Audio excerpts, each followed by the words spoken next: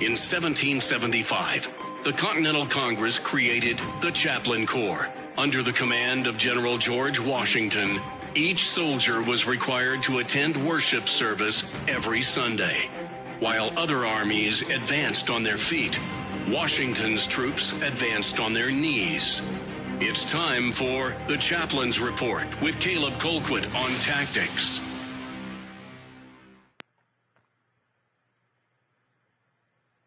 Our chaplain's report today is, of course, and I know that this is no surprise considering my giant Thanksgiving background here, uh, it's going to be on Thanksgiving. Because it is something that is repeated over and over again in the Bible. I think that it's something that we may not really focus on as much as we should because the Bible talks about it a lot. Old Testament, New Testament, thanksgiving and gratitude are very important virtues to the Christian faith. And I think that a great example of that, especially with our theme of giving thanks in dark times, comes from the book of Colossians. So we'll look at Colossians chapter 4, verses 2 through 4. Paul writes Devote yourselves to prayer. Keep alert with an attitude of thanksgiving, praying at the same time for us as well, that God will open up uh, open up to us as a door for the word so that we may speak forth the mystery of Christ, for which I have also been imprisoned, that I may make it clear in the way that I ought to speak. There's a couple things that I want you to notice about this verse. First of all, in the, the part where he's talking about thanksgiving, he is advising the church at Colossae. He is advising them to devote themselves to prayer and always done with an attitude of thanksgiving. Now, why is that? I think that the reason that's so important is because he's saying we're facing a lot of adversity. We're facing a lot of things that we don't need to deal with, a lot of things that are keeping us from sharing the word of God with others. And so, what I'm asking you to do is to devote yourself to prayer. What does it mean to devote yourself to something? It means you take it seriously, it means that you do so regularly, constantly, that it's something that you have made a commitment, you have made an oath to do. He's saying, I don't just want you to pray for this, you know, like a one off prayer request. Hey, would you say a quick prayer for me? Okay. Nothing wrong with that.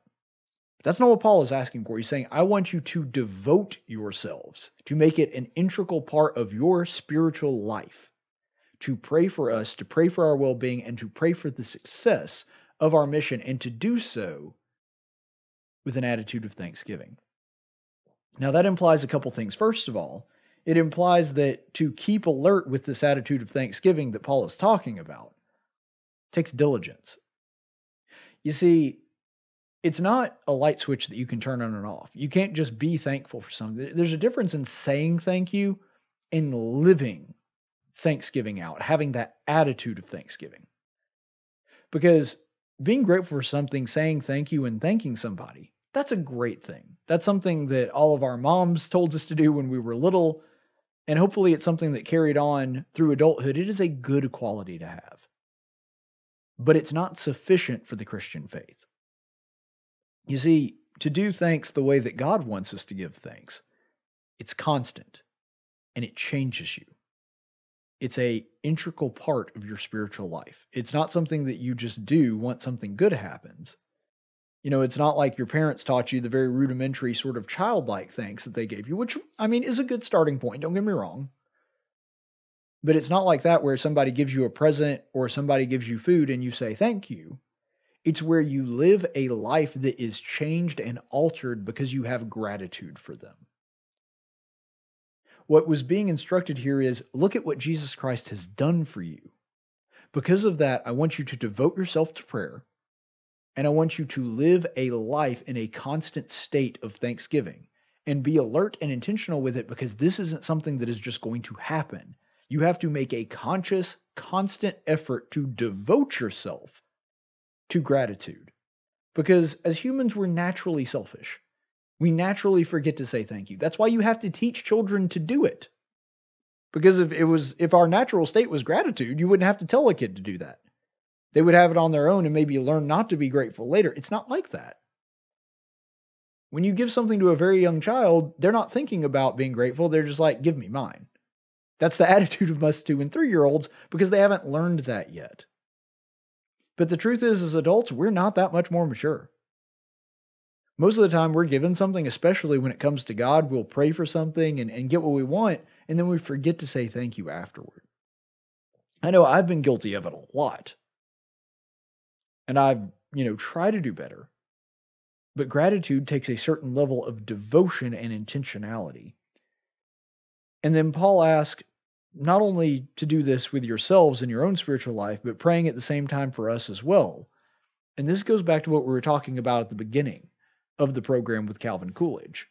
You remember in his address, he said that we need to be worthy of our prosperity. We need to use the gifts and the power that God has given to us as a blessing to bless other people and to help them. Paul is saying exactly the same thing here in a different way. He's saying when you have this attitude of thanksgiving, when you are keeping alert, when you're constantly devoting yourself to prayer, hey, include us in that because we want those blessings to be showered on us so that we can use them to bring the word of God to other people.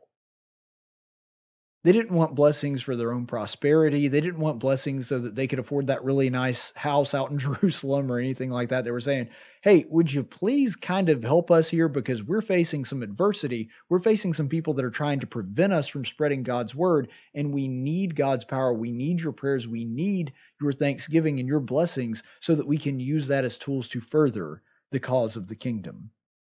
And he said, and, and also, and I think that this shows a lot of Paul's humility pray that I will be good at this. Pray that God is going to give me the right things to speak. Pray that um, pray that all of the things that I have been given that I use them correctly and that God will make it clear what I am going to say. And in the context of that, you may notice in verse 3 that he says, For which I have also been imprisoned, talking about trying to spread the word. Paul wrote this from a jail cell. You talk about being grateful in dark times. It doesn't get much darker than what Paul was going through. I mean, at this point in his ministry, he'd already been beaten, stoned, chased out of t- countless towns, and now he's in prison for doing the right thing. He's in prison for doing exactly what God told him to do. When you hear the phrase, no good deed goes unpunished, boy, Paul lived that on a daily basis. He was constantly trying to do the right thing, doing what God asked him to do, and constantly suffering for it. And you look at that and you go, how does somebody like that keep going? This verse tells us. It's because he devoted himself to prayer and stayed alert with an attitude of being grateful, an attitude of thanksgiving. Thanksgiving's a great holiday. But it can't just be a one day thing, especially not for a Christian. Maybe it's a time to focus a little more on it than other times of the year, but ultimately, if we're going to be able to dodge the, uh, if we're going to be able to dodge and withstand the assaults of darkness that come on us on a daily basis, one of the things that we're going to have to have is being grateful for the things that we've been given. And to have that always in the back of our mind and to have a sense of peace that comes from seeing those blessings as they really are and to remember that they come from God. Ultimately, it's what kept Paul going. It kept him moving and it gave him the correct perspective he needed to continue to soldier on and to spread the word of God. And he was grateful for the blessings that he had been given because it allowed him to spread the word to more people, which made him more grateful. And so there was this exchange going on between him and God, where God would bless him so that he could continue to do God's work. And in return, Paul would offer prayers and thanks for that. And in return, God would continue to give more blessings and look out for him. And that's the way that it constantly gets. See, Paul could have complained. Paul had a lot of things that he would have been very well justified and humanized for complaining about. And he's looking at it and saying, Would you please pray that I get out of prison just so I can spread the word of God more? Actually doesn't even pray to get out of prison. He prays to give him the opportunity to spread the word of God to others. And you know what? Paul, in the account of Acts and in several other uh, historic accounts that we have, he did that from a prison cell. He didn't even necessarily say, hey, pray that I get out of bondage. He said, just pray that I have the opportunity to spread the word no matter where I am. That can only come from somebody that has a deep and abiding sense of gratitude. And it's one that, if we want to be effective torchbearers of the cause of Christ, it's something that we have to adopt too. Happy Thanksgiving. Stay the course, friends.